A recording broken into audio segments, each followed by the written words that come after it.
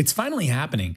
AI is starting to become more collaborative. It's no longer something that just lives on the sidebar of every single application you open up where you can chat with it and just hope you get something you can copy and paste into your actual document. No, AI is starting to feel a lot like a personal assistant, a real employee that's living on the other side of the screen. I'm going to show you one such case in this video today as Softr has announced a brand new AI agents feature that I am super excited about. Softr is a longtime sponsor of this channel, and I'm happy to have them back. If you're not familiar with Softr, essentially it's a tool that lets you create no-code apps for your business. You can start from scratch, but they've got a library of great templates here just to give you an idea of things you could build, a client portal, a CRM. Do you ever notice how it's very difficult to take an off-the-shelf CRM and get it to work well for your business? A tool like Softr lets you customize things without being a developer and really get the CRM that you need to best fill out your sales pipeline. Now, just last June, Softr added in their own database platform, so you didn't need to rely on third-party tools to store your data. Now they've added AI agents that let you enrich the data that's stored in your database. Now, for a no-code platform, honestly, that feels a little bit technical to explain. So rather than talk anymore, let me just show you what is going on here. What I did is, just for a simple example, I created a form and I used their template, the project request form. I'm thinking of someone like myself myself or other service providers that we have like a proposal request form on our website. So I grabbed this template. So here it is. This is the form that I'm working with here. And I can click on the form and we can see all of the logic. There's a lot of questions in this form, but there's a lot of conditional logic as well. So if you're filling out the form, it actually goes pretty quick. But the idea here is to qualify a lead, right? I want someone to go through this form. And then on the other end, I'll review the submission to find out if we're a good fit to serve their needs.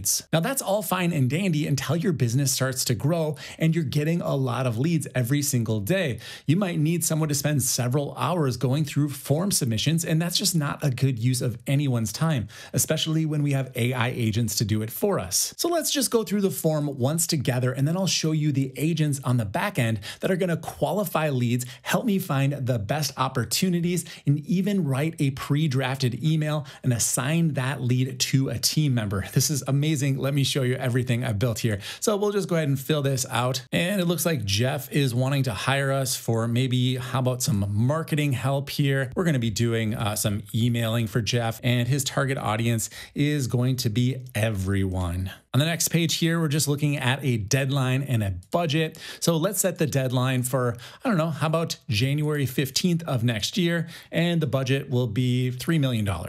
And then the final screen here is just a text field where you can write a little bit about the project description and even upload a PDF that the AI agent can analyze for us. I will get to that in a moment, but first let me just write a brief project description. All right, no attachment for this particular form. I'm gonna go ahead and hit submit. It's been submitted, so let's go ahead and check out the results over in the database. So previously I showed you the interface where you can actually see what the front end will look like and you can modify this to suit your needs. But one tab over is the data tab. And this is where we can actually see the form submissions that have come in. Now, Jeff Bezos is at the bottom. We can go ahead and review this here in a moment. I just want to point out that reviewing your form fills in a database, probably not the most attractive thing, but we're only going to do this for setting up our AI agents. You could obviously view the form fills in other places as well. So let's see, we've got Jeff over here. He needs some marketing help, right? We can see all of the submissions coming in. So each one of these columns columns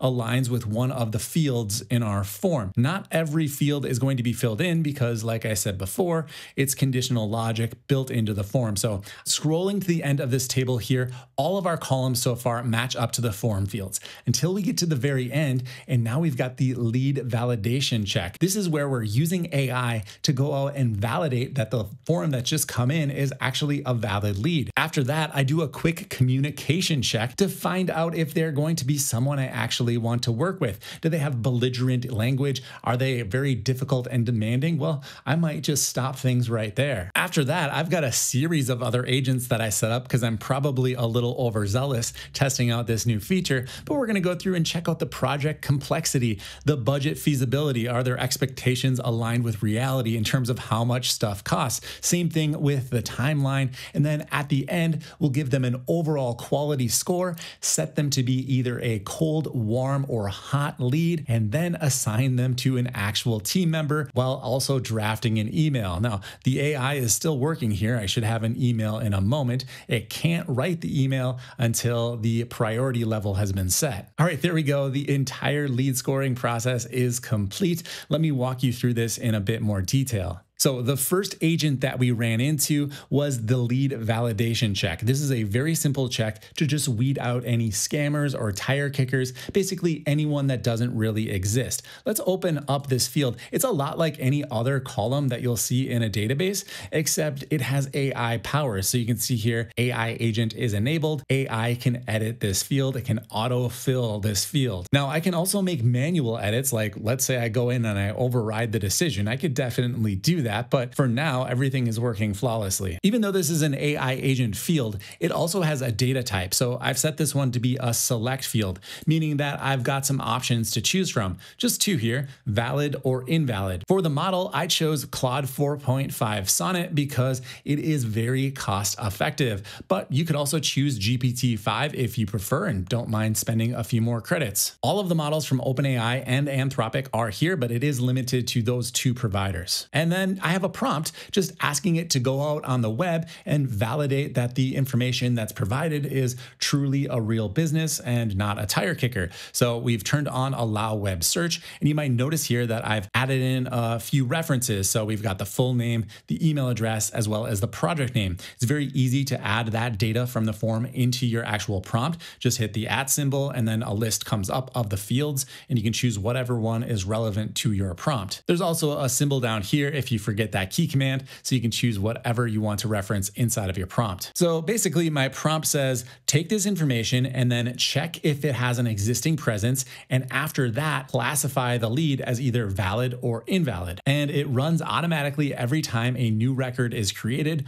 or in this case, I even left it on if a record is updated, but you can obviously tailor this to be whatever you need. Now you can also set up filters so that agents only run if certain requirements are met. So for example, on this third entry here, I set up a scammer type of submission. And if you look at any of the other fields, I edit them here. If we go down to run when and check out the filters here, I'm going to look at the communication check and it says communication is proceed. So that's right here. If it says proceed, it will actually run the agent. Otherwise, it will not fill out the field. Obviously, this one said red flag, so there is no project complexity score. If you remember at the end of the form, there was an opportunity to attach a PDF. That's a really good indicator that someone is genuine if they're going to upload their project requirements inside of a PDF. It means they're probably seeking other agencies and trying to get bids. So I've got the uh, attached files column over here. You can see that I've only got one filled out. And if it doesn't actually have a, an attachment, it's just going to write NA for not available or not applicable in the field. But this one did. So let's let's check out how I configured this. We'll edit the field and you can see with my prompt, I said, if no files attached, output NA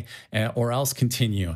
And then I said to analyze the attached document and extract the following key information based on the project context. So the attached file is there, which is basically just referencing that field. And then I went ahead and asked it to summarize the document. Sometimes these documents can be very, very long. So give me the actual requirements, the technical details, the budget clues, timeline clues, uh, complexity indicators. So it's going to go ahead and analyze all of that. And then it's going to create a document that looks like this. We can expand the actual output. So it takes a you know four or five page document and basically puts it into a bulleted list that I can easily glance at. Better yet, I can use this analysis on future agents to help me score the lead even more accurately. So essentially for these next three fields here, the project complexity, the budget feasibility, and the timeline realism, I'm calculating a score that all goes in to calculate the lead quality score, which basically decides whether or not I follow up with this lead. So based on the lead quality score, they're given a classification as either hot, warm, cold, or unqualified,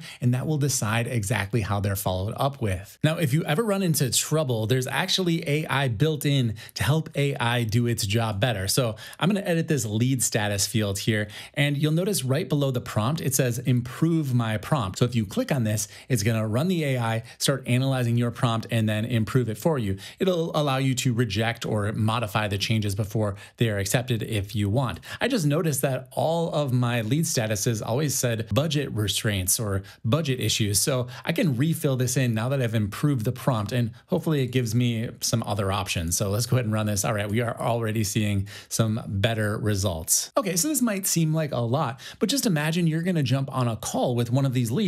You can quickly look at a dashboard that you build out using this data and see, oh, they've got some timeline issues. I know I need to keep that top of mind when I go onto the call. Or maybe their budgets are not aligned with what reality is, and you know you need to address that head on. This can be a major time saver, but also help you prepare with absolute lightning speed. So that is the new database AI agents feature from Softr. It's been a ton of fun getting my hands on this and just imagining all of the possibilities. Now, I focused on leads here, but really you can let your imagination run wild and make your business run more efficiently. It is a truly exciting time to be on the cutting edge of AI, and I hope that you spend some time playing around with this as well. Getting started with Softr is completely free, by the way, and you get 500 AI credits to get started. So really, there's no reason not to dive in. You can check my link down in the description. And thanks again to Softr for sponsoring today's video.